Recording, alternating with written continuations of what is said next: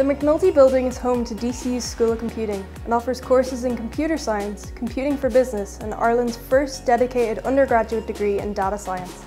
We have six undergraduate computing labs, each with between 50 and 70 high-spec desktop computers. All the computers run both Windows and Ubuntu Linux operating systems, and this is where the computing students will have their hands-on practical labs and tutorials.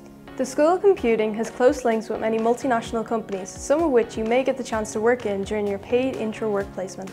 Our goal is to provide you with skills that employers in the information economy are looking for, and our exciting and innovative courses offer great employment prospects for computing and IT professionals at home and across the world. This year, each student will have their own dedicated computer in one of the labs if they are attending a practical session on campus, with the appropriate social distance between each student. Our spare computers have been configured to be remotely accessible from the internet for when students are at home so that it looks like they are actually sitting at one of these computers, allowing them access to all the specialist software we have available for teaching.